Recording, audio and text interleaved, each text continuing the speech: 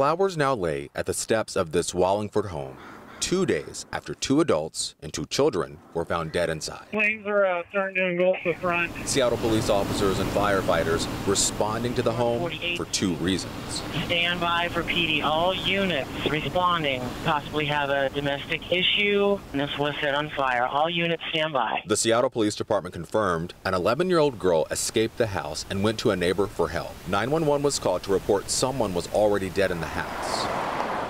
Officers showed up within five minutes of that 911 call. By then, the house was on fire, and they couldn't get inside because something was blocking the front door. Once firefighters put the fire out, the bodies of four people plus a dog were found. It's so real, though, that something so tragic and you have no idea what's happening and it's right around your corner. David Pullitz lives up the street from this home. I just remember waking up and it was really smoky in my house and I just opened up my window I just see this massive billowing of clouds. David, like many others in this community, are waiting for answers. It's terrible to know that the family, you know, is lost, you know.